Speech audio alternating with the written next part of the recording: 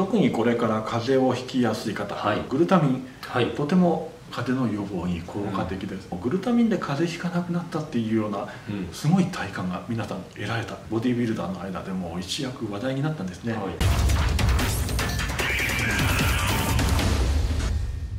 皆さんこんにちは。山本由伸です。今回はサプリメントについて武田さんから質問があるということですので、それについて答えていきます、皆さんどうですか？サプリメント。私も8年ぐらいはいいろんなメーカーのサプリメントをたくさん買いました。まずその定番のところで先生が初心者の人だろうとどんな人だろうとおすすめできるよっていうサプリメントの成分でいうとどの辺がありますか？それはもうですね初心者の方でも中級者、はい上級者、はいあるいはトレーニングしていない人であっても、はい。プロテインあは一番大事になってきます、これはですねあの最近プロテイン飲んでる方ってトレーニングしていない人でもうん。かなり多いと思うんですね、はい。これは高齢者は体体重1キロあたり1グラムのタンパク質を取りましょうという厚生労働省の指針もあったりするんですけれども、まあ、私が栄養の道に入るきっかけになった三石岩尾先生はもう大豆プロテインを朝食代わりに飲んでいてですね、まあ、ミキサーを使ってずっと配合タンパクという言葉で三石先生呼ばれていたんですけれどもまあプロテインのことですよね、はい。これを飲まないと健康は達成されない。でタンパク質というのは、まあ、何度もお話しています通り体にとって一番大事な栄養素となりますので、プロテインはもう筋肉増やすというかいうのではなくて健康のために体のために日常生活をちゃんと送っていくために必要なものとなってきますいろいろ不調のある人であってもプロテインを飲むことによって良くなったという方非常に多いんですね、まあ、もちろんプロテイン飲んでればそれだけでいいというわけではないんですけれども、い、ろいろな不調はタンパク質を補うことによってかなり改善されるということは間違いなく言えると思います、はい健康でないともう筋肉増やすことももちろんできませんのでね。まず土台としてプロテインは必ず飲んでいただきたい。はい。と初心者の方、えーそうでない方トレーニングしてない方にもプロテインをお勧めしたいと思います、でホエイとか大豆とかいろいろありますけれどもまずはホエイでい。いかと思います、まあ、女性だったら大豆がいいとかそういうのはまた別の話もあるんですけれども、ホエイプロテインまず美味しいですね、あと免疫、えーを高めてくれるようはない。作用とか、美白とか、はい。いろんな、えーいい面がありますのでまずはホエイを試していただきたいと思います。はい次で先生じゃあアミノ酸タンパク質ってところで言うと視聴多分視聴者の皆さんも気になってると思います。EA と BCA の問題です。はい。ここについて。はい、まずはですねあのホエイプロテインをちゃんと飲むとい。うこと、その後にプラスアルファとしてどのようはにアミノ酸を取っていくかうん。ということなんですけれども、まず BCAA それ自体はと、えー本当にいいものではあるんですけれども、筋肉を増やすということを考えますと、BCAA だけよりは EA の方が優秀ということが分かっております、まあ、BCAA とホエイ両方組み合わせることによって EA に近い効果は得られるんですけれどもやっぱりホエイプラス EA がベストな選択であるということになります。ですので BCA だけでとっても別に悪いわけではないし、はい。損はしないということでもあるんですがもし取ることができるんであれば BCA, BCAA よりも EA の方を選んだ方が良いかと思います。なるほどですね。続いて先生健康目的の人でもぜひおすすめしたいなとふと思ったはい。サプリメントでグルタミン先生、はい。これはどうでしょう？そうですね。特にこれから風邪をひきやすい方、はい。多いと思うんですけれども、まあ、私もそうだったんですけれどもグルタミンはい。とても風邪の予防に効果的です、まあ、要は免疫を上げてくれるわけですけれども、グルタミンがですねサプリメントとして出てきたのは1990年代なんですがそれをみんな飲むようになってもうボディビルダーみんなびっくりしたんです。風邪ひかなくなった。ですね、うん。まあ、もちろん筋肉にもえいい影響があるんですけれどもグルタミンで風邪ひかなくなったっていうようなうん。すごい体感が皆さん得られたボディビルダーの間でも一躍話題になったんですね、はい。まあ、もちろん筋肉への影響もあるんですけれども何よりも風邪をひかないという風邪をひいてるとトレーニングもうまくできませんしもちろん筋肉も増えてきませんから健康を維持する風邪をひかないという点でグルタミンをちゃんと飲んでいただきたいと思いますでまあ、グルタミン筋肉にいいという点ではカタボリックを防ぐということが知られていますけれども、はい、その他にも成長ホルモンを出してくれたりとかグリコーゲンの合成を高めてくれるあるいは胃の粘膜を正常にしてくれる、はい、腸のエネルギー源になる、まあ、いろんないい作用がグルタミンにありますのでプロテイン EA グルタミン、はい、この辺りを抑えていただければ健康もトレーニングもうまくいくと思います。あとまあこの前ちょっと私の方になってすぐにグルタミンをあの1日何回か飲んだんですけどやっぱり回復がこう早いというか体が楽になるんですよね。ぜひだからグルタミンってこう皆さん手出さない人も多いと思うんですけど試していただきたい個人的なサプリメントになります。じゃあ先生ここからはトレーニーの人がすごく興味があるお話のところですのトレーニング効果を引き上げますって歌うサプリメント類ですね、はい、プレアワークアウトっていうのでよく海外商品調べると多分皆さん検索できると思いますがここで多く入ってる商品が大体パンプアップをするか重量が上がりますっていう表記でこう書いてくるんですけどもここでこう先生がおすすめできる成分っていうので何かありますか？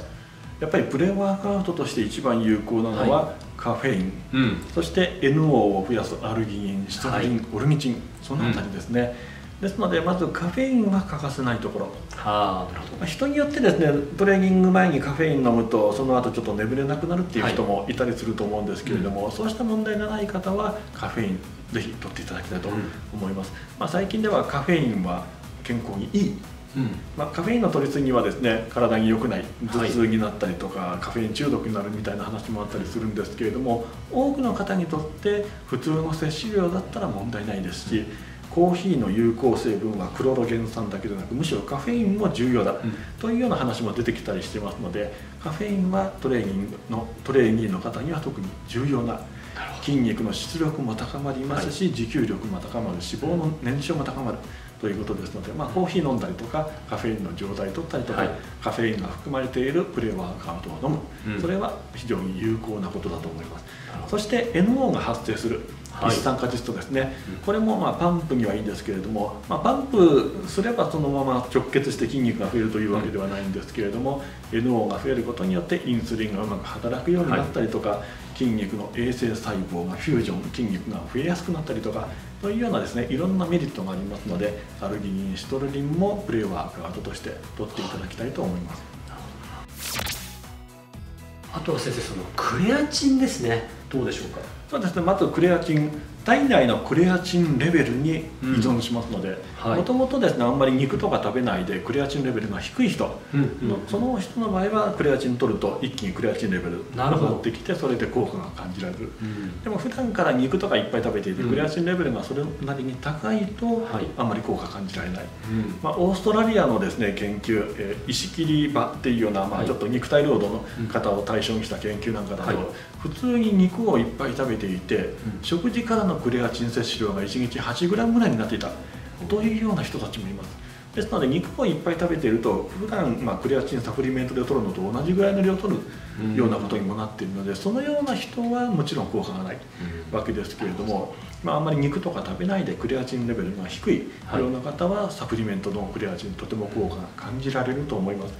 でまあ、もちろん普通に肉とか食べている人でもマックスのそんなに大量に食べていないというような方でしたらもちろん効果はあると思います、うん、ただタイミングがやっぱり大事でして、はい、十分にもクレアチンのレベルが高い人は、はい、そこでクレアチンを飲んでもトレーニングの時には変わらない、うん、でもトレーニングするとトレーニングでクレアチン使われます、はい、ですのでトレーニング後というのはクレアチンレベルが下がってますから、うん、そこで補ってあげるというのが大事なんですね。ですのでトレーニング前にいっぱい取るんじゃなくてトレーニング中のドリンクにクレアチン混ぜたり、はい、トレーニング後のプロテインと一緒に飲んだりとか、そのようにするといいと思います。でこれは、えー、クレアチンはインスリンと一緒に、えーまあ、はい、インスリンが分泌された時に吸収されやすいということを考えますとやっぱり糖質とか、はい、あと、まあ、アミノ酸とか、インスリンを出してくれるようなものと一緒にとる。それが有効ですので、まあ、トレーニング中のドリンクですね、はい、糖質が入っているマルトデキストリンとかが入っているものにクレアチンを入れるとか、まあ、トレーニング後のプロテインと糖質のドリンクにクレアチンも一緒に入れて飲む。そのようにするとクレアチンの効果吸収も良くなって体感しやすいと思います。なるほど。ちなみにクレアチンいろんな種類が実は今市場にあって、はい、ものによってかなり価格の差があるんですけども、はい、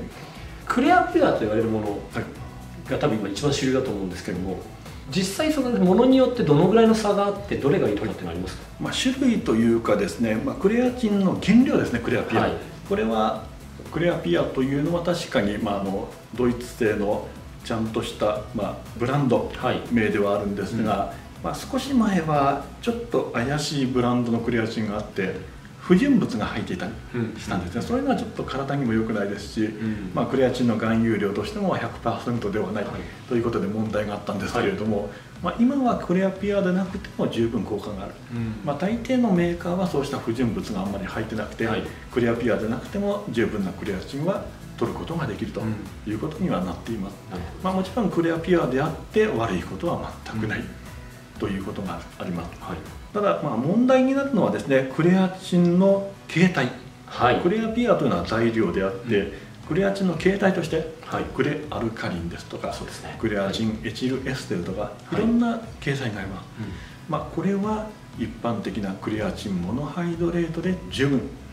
ですね、うん、多くのクレアチンの研究というのはクレアチンモノハイドレートで行われてましてそれで十分効果があります、アルカリンだとかエチルエステルの方が効果があったっていうような研究はそうはない、うん、ですので一番安価で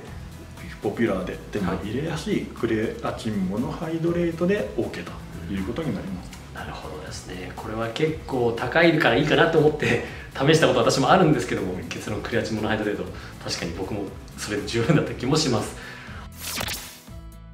あとは先生そしたら最後にダイエット系っていうところですね。ダイエットを目的にした時のサプリメントでどれでしょうか？はい、先ほど話したやっぱりカフェインはダイエットの効果一番期待できるとは思います、はい、そしてカフェインと組み合わせたいものとして EGCG ですね、緑茶のエキス、これはエピガロカテキンガレートと呼ばれるものなんですけれども、まあ、カテキンの一種、はい、カフェインとこの EGC 組み合わせると非常に効果が高くなることが分かっています、はい、まあ、他に代謝を高めてくれるもの脂肪の燃焼率を増やしてくれるものとしては唐辛子ですとか、あと生姜とか、はい、そうしたものも代謝を高めてくれます、うん、で他にですね、まあ、脂肪をうまくエネルギーに変えてくれるものとして、コエンザイム9点とか、はい、あるいはカルニチン、はい、そうしたものも必要になってきますのでそうしたものが全て不足しないようにですね、はい、まんべんなく取るようにすることが大事だと思います、はい、ありがとうございます。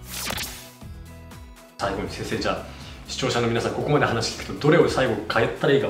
悩むと思いますのでおすすめの筋肉をつけたいバルクアップしたい人向けのサプリメントセットダイエットを進めたいって方向けのサプリメントセットをじゃあお願いします。まあですねえーまあ、ちょっと会話に出てこなかったんですけれども、はい、追加でビタミン D も有効になってきますので、はい、まあ、これから、まあ、風邪の予防にもなりますし、はい、筋肉もいいということでビタミン D も取りたいところなんですが、うん、まあ、バルクアップしたいという方は、プロテイン、EA、グルタミン、うん、そしてビタミン D、クレアチン、この辺りを今の順番で取っていただければと思います、はい、そしてダイエットしたい方、はい、ダイエットしたい方ももちろんプロテインが大事、はい、で、まあ、EAA もできれば取りたい、うん、で、まあ、グルタミンも健康のために取りたい。ですね。